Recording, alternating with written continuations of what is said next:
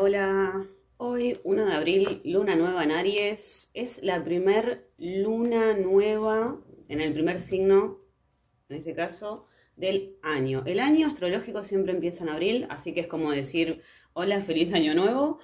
Eh, bueno, esta luna nueva eh, lo que trae son metas para cosechar en el próximo ciclo de seis meses.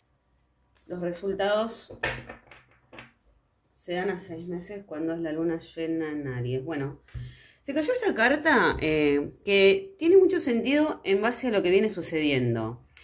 A Aries lo rige Marte, que es el planeta de la guerra, y en este caso Marte está en conjunción con Saturno, que es el signo más estructurado, rígido, que rige a Capricornio, digamos, ¿no?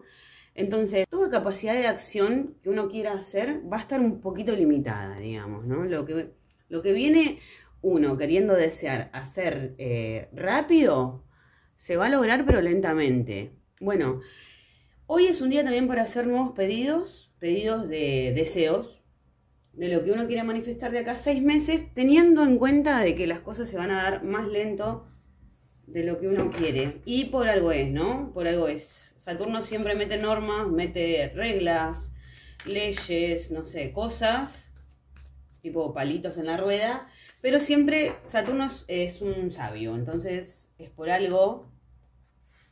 Así que vamos a ver, aparte de esta carta, que me parece que ya no tendría que haber sacado más, pero bueno, porque es una carta que ya está diciendo todo. Vamos a ver qué pasa con esta luna nueva en Aries hoy, primer día del año astrológico.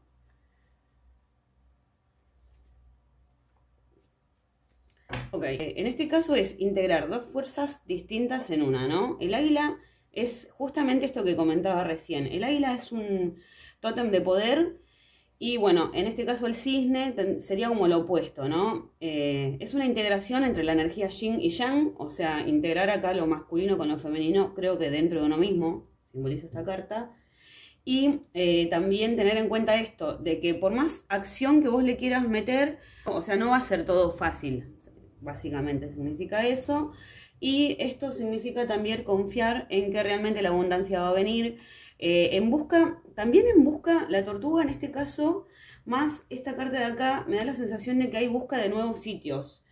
Eh, no solamente a mí, sino que un montón de personas tienen ganas de irse lejos a vivir otro lugar. De hecho, esto es una profecía que se viene viendo desde hace 10 años más o menos, de que la gente va a querer dejar de vivir en las grandes ciudades porque ya no tiene mucho sentido. Bueno, en este caso es confiar realmente en que integrando las propias fuerzas positivas y negativas de uno mismo, eh, vamos a lograr esta abundancia. En, esta, en este caso la abundancia acá es vivir plácidamente, fíjense que acá también está la luna y el sol. O sea, yo creo que acá tiene que ver con integrar las dos fuerzas que uno tiene, o mismo el tema del compromiso, o mismo empezar a juntar bases sólidas, sobre todo. O sea, acá la actividad tiene que ver con empezar a crear bases sólidas y con unirse más al mundo desde un modo más práctico, desde más allá de la riqueza y la abundancia que por ahí algunos tienen ganas de lograr. Todo va a ser lento, pero hay que confiar en que integrando las dos cosas eh, se va a poder hacer. Bueno, espero que les haya gustado. Besitos.